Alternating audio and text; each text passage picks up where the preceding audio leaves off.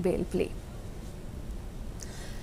The CBI has uh, booked NDTV promoters Prannoy Roy and his wife Radhika Roy and others in connection with alleged violation of foreign direct investment rules.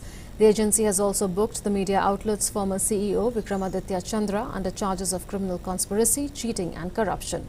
It is alleged that the company floated 32 subsidiaries in several tax haven countries to bring foreign funds to India through sham transactions. So NDTV promoters uh, have been booked by the CBI and the CEO, who's now the former CEO of NDTV, has also been booked for charges of criminal conspiracy,